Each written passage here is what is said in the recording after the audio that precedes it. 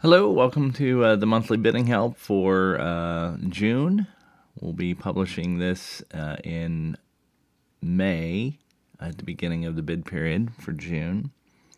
Uh, first off, I'd like to remind everybody that the old web interface is uh, going to be sunset uh, in the upcoming months. And if you're not familiar with this bidder interface, I would recommend starting to use it and get used to it. Um, you can bid in this interface and then check your bid in the old interface if you're not totally comfortable uh, with this one yet, just to make sure that you got everything right. Uh, always, you can ask us questions at uh, the b6alpa.org site under a PDR for the scheduling committee. So, this month I want to talk about uh, bidding days off in reserve there are a lot of uh, complicated issues that come up, uh, and you wouldn't think it would be this difficult because you're just bidding for days off. Uh, how could that how could that be a problem? But you have to keep in mind that there are reserve construction rules that are processing in the background of PBS uh, that can interfere with your ability to get the days off you want without waiving certain rules. So if we look here in 25R1A, uh, you'll see that uh, the minimum number of days on is three, the maximum number of days on is six, and then the minimum number of consecutive days off is two. Now you can waive those rules, but uh, most people don't waive those unless they're trying to get a long stretch of days in a row. Uh, let's go ahead and start building a bid here. So I'll go ahead and do, we'll do award reserve. We'll do a reserve bid group.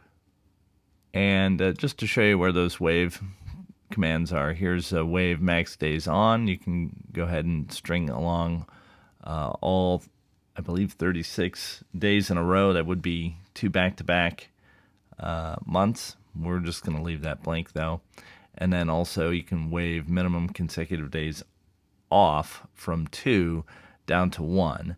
Uh, there is no command to waive to zero because that really is a function of max days on.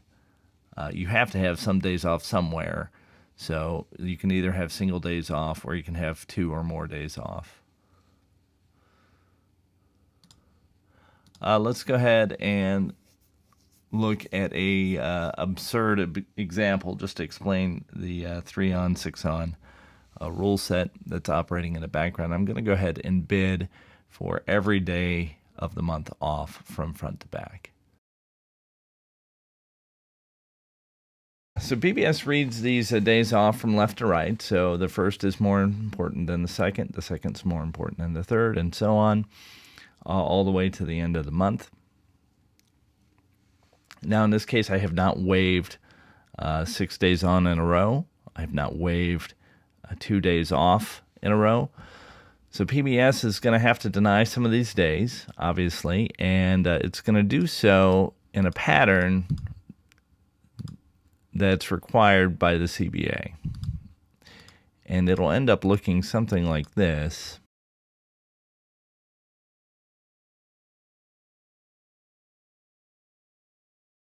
So if I'm on long call, I would end up with a line like this.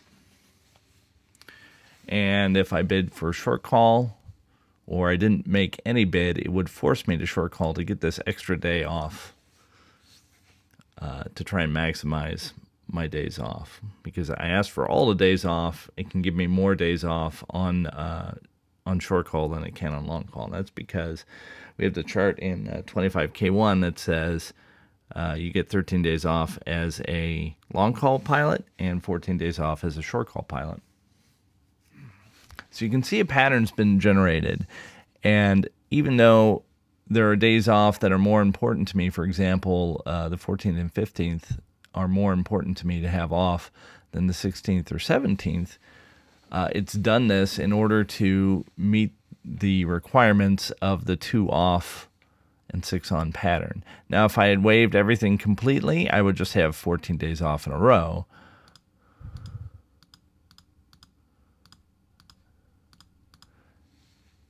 And if I waived completely everything and had bid long call specifically, I would just have 13 days off in a row.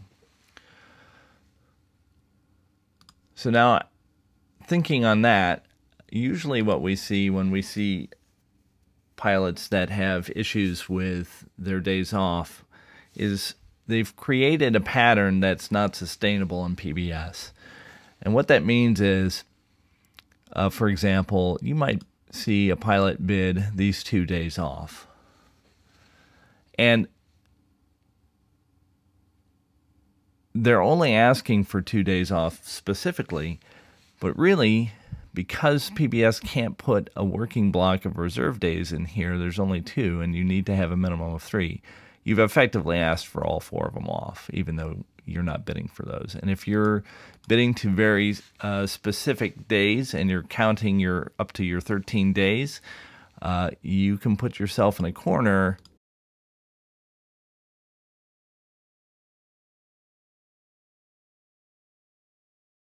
where PBS is not going to be able to uh, honor all your days off because of that minimum block of three working required. So, for in this example, just to further it out, I've really said I can't I can't work until the 11th. So I could have four working days here, and then I could have uh, working days after the 19th and I'll have to have a couple days off here. But PBS is not going to be able to honor this uh, bid in its entirety. So then it has to decide which prefer off days to deny in order to comply with the three on, six on rule. Click the uh, ALPA logo in the bottom right to subscribe to our channel. That way you'll be uh, notified of any new videos or YouTube live events. Uh, we do plan to have a couple of those scheduled for June and July as we phase out of the old web UI.